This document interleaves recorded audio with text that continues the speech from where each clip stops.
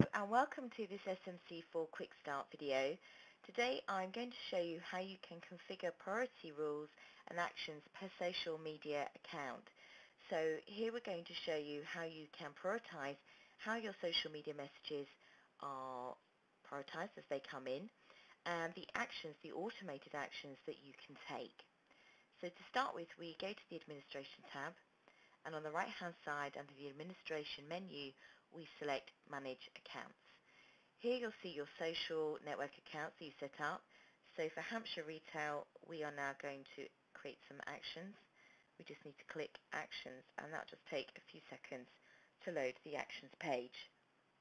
So it's in here that we're going to set up some automated actions for the different categories of messages that we have. So one of the more simpler things to set up at first is if a message is categorized as positive, we can take an action to automatically like that message. So that's nice and relatively simple. You can see here at the bottom that's been set up and you have options of course when you select it to delete it or edit it as well and you can move any of these up or down the list. So you can do that maybe when you've created a few more. Um, we also could set up uh, an automated action for any VIP message that comes in to our Hampshire Retail page. So anyone that has a clout rating of 50 or more, we would consider a very important person. And for that type of social media person that has that type of clout, we would prioritize their message. We really want to respond back to them as absolutely quickly as possible, so we'll assign a high priority to our VIPs. And you can, of course, change that ranking if you want. If we look at our messages that are categorized as complaints, there's probably a few more actions we want to take with those.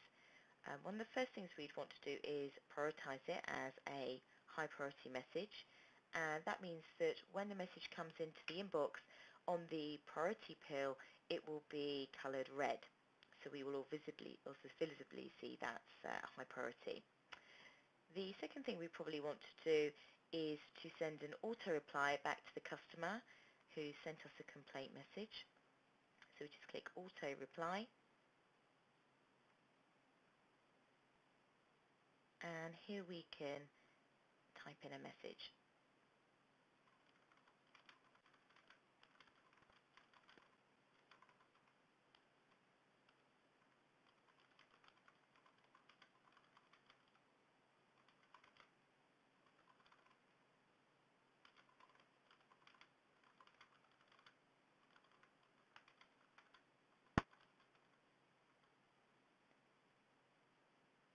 So we're just typing that message in and it highlights any spelling mistakes which is very handy and then we can just save that.